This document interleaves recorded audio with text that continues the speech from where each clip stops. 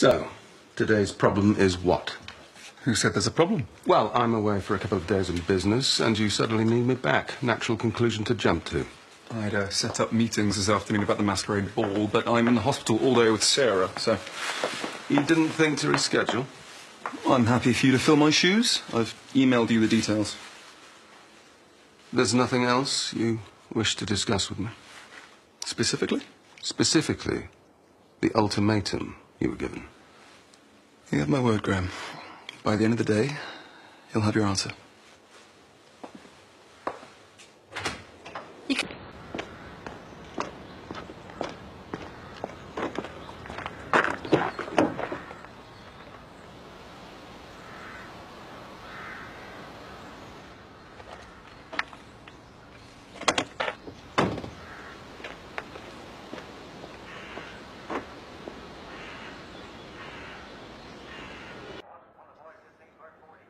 I'd like to tell you you won't feel a thing. But you will. You'll feel everything. hey, you know what, big man? I'm gonna enjoy every second.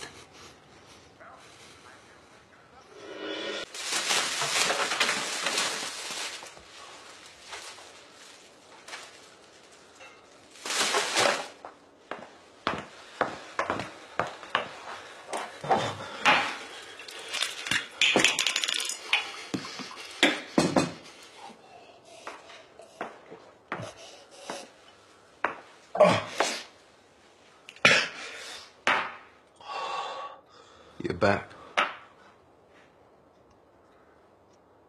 I thought you'd be at the hospital all day. What the hell happened? Sorry. Your head. I'm not sure today went quite how you envisaged. What? Your guests for the meeting didn't arrive. But a past acquaintance did. Connor. Ring any bells? Connor. You're aware of his work.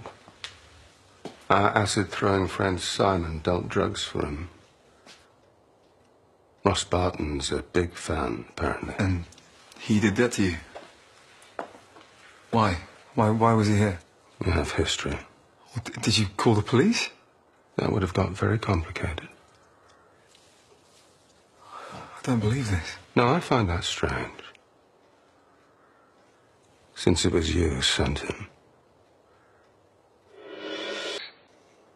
He's ridiculous. Really?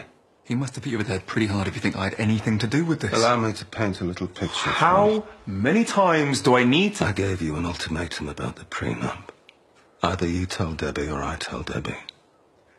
We threatened to cut you off, so you you tried to get rid of me. Do you really think that I sent him here to hurt you? No. I think you sent him to kill me.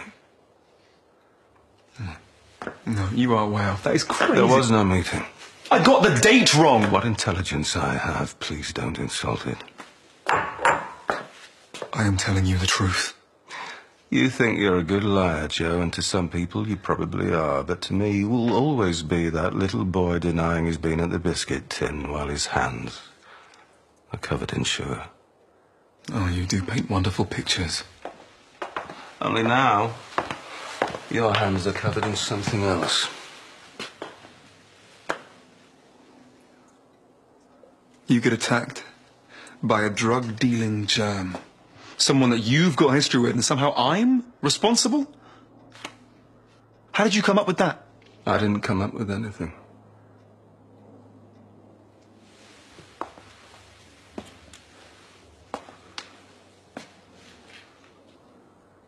Connor told me. He told me everything. You're really going to take his word over mine. You know what he is. And I know what you are too. I don't even know why we're still doing this. If you don't believe me, then you may as well go. I'm afraid you don't hold those cards anymore. So where is he now, huh? He just ran away after filling your head with rubbish? You won't be running anywhere.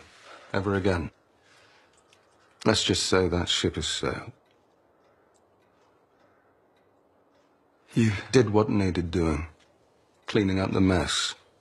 And you've been making quite a lot of mess recently. But I. Stop lying to me! Just stop. You don't get to lie yourself out of this one. It was me or you.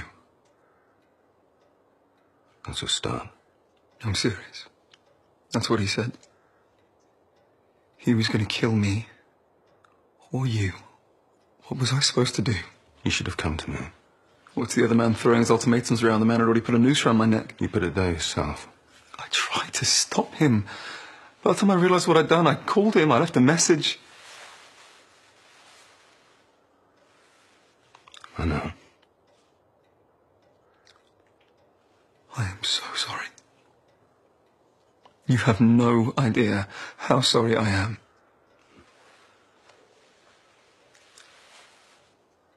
I'm sorry too. So what now? You should probably go back to the hospital where you're supposed to be. I mean, between you and me. Can we just go back to the way things were? What's done is done.